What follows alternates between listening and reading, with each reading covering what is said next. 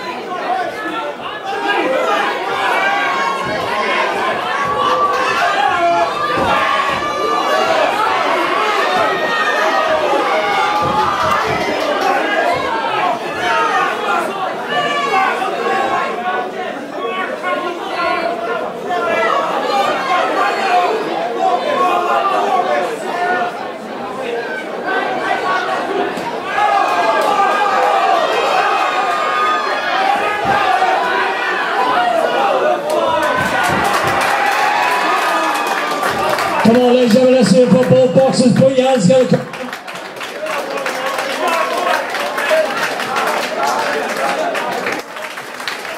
Your referee stops the contest at 1 minute 26 seconds of the first round.